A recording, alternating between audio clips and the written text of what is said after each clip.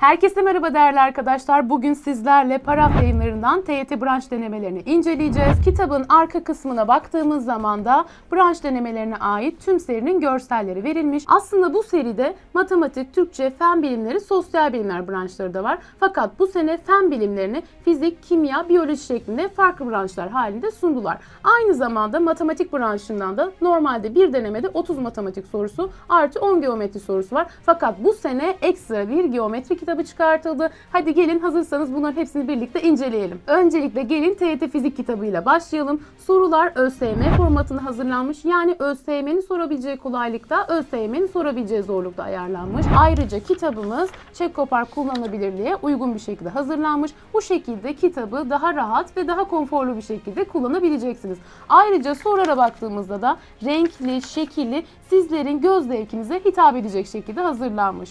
Her denemede de toplamda 7 soru var. Toplamda bu şekilde 45 deneme ile birlikte tek bir kitapta 315 soru bulunuyor arkadaşlar. Ayrıca her denemenin sonunda bir kontrol paneli verilmiş. Burada her soruya karşılık o sorunun konu başlığı veriliyor.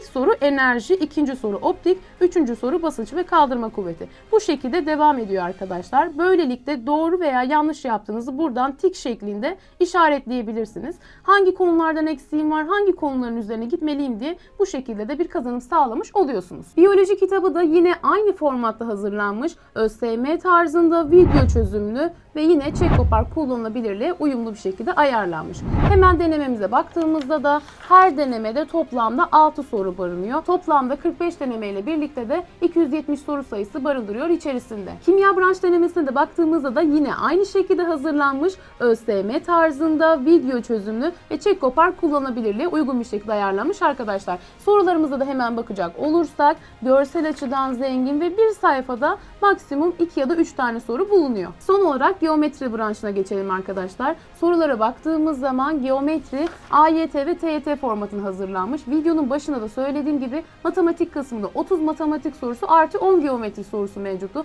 Fakat Paraf yayınları sadece geometriye ait yeni bir kitap yayınladı. 15'i TYT, 15 AYT şeklinde toplam 30 denemeden oluşuyor. Sorular ÖSYM standartlarını hazırlanmış, video çözümlü ve her deneme içerisinde toplam 10 soru var. Sayfayı açar açmaz gördüğünüz üzere şekilli, hikayeleştirilmiş çok fazla sorular mevcut arkadaşlar. İlk 15 deneme TYT, son 15 deneme ise AYT düzeyinde hazırlanmış.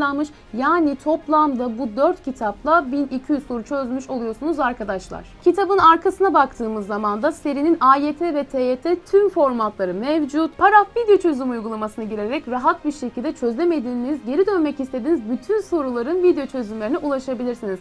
Aynı zamanda Paraf Akademi'nin YouTube kanalına ait bir karakod verilmiş. Bu şekilde sizlere yardımcı olabilecek birçok ders içeriklerine ve daha fazla içeriklere ulaşabilirsiniz. Evet arkadaşlar bugün birlikte TYT branş denemelerinin incelemesini gerçekleştirdik. Bir sonraki kitap inceleme videomuzda görüşmek üzere. Hoşçakalın.